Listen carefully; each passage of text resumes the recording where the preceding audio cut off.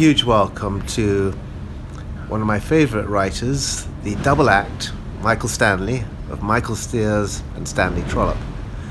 I think you're going to find they have a lot of interesting things to say about writing collaboration and writing novels set in Botswana. What a great location. Don't give up your day job. Stan. Don't compromise, always seek for the best you can. I guess I would probably choose Deadly Harvest, our fourth book. And I would choose Death of the Mantis, a book with the backstory of the Bushmen in the Kalahari. Well, everywhere. Uh, in hotel rooms, in my house, in Botswana. Uh, we get together in Botswana for research, and uh, that enables us to do a lot of brainstorming. I don't have any special place. I can write anywhere.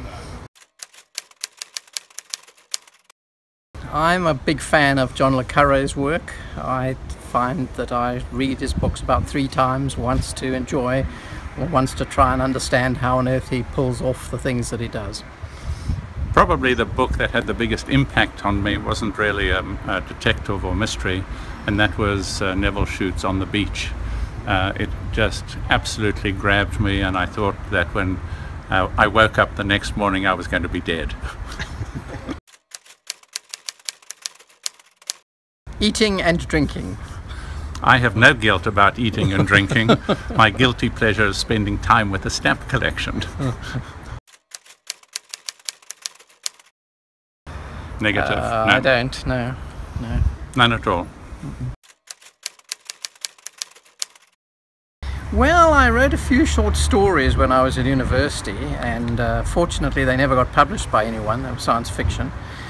And really, uh, really the enthusiasm just, just grew from the discussions we had together and from reading a lot of, uh, a lot of crime fiction.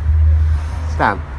Um, I've always been a writer, and I've never sort of felt completely uh, that it was a requirement of my life. I've written probably seven uh, non-fiction books before I started writing fiction, but once I started writing fiction, I was definitely hooked.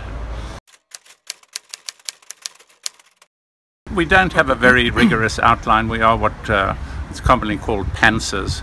We have a broad view of what the book's going to be about, the backstory, probably know who the, the bad guy or guys uh, are going to be. And then we just set off and, and see where, where the story takes us.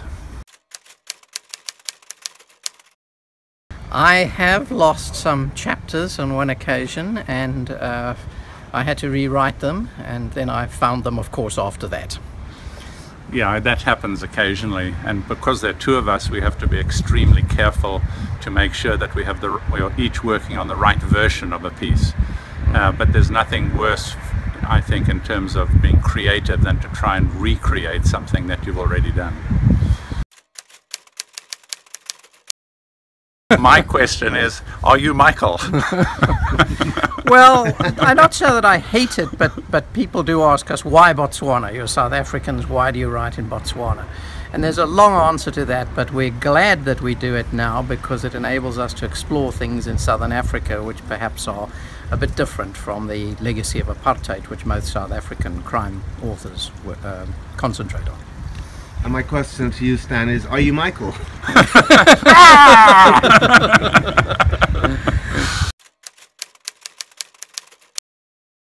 One of us chooses some section and uh, does a first draft, and uh, we don't we don't even live in the same city, so we send it to the other person by email, and and then we talk a lot over Skype and correct each other's uh, work, and then send it back. So each chapter or piece or set of chapters can bounce back and forward maybe 20 times sometimes.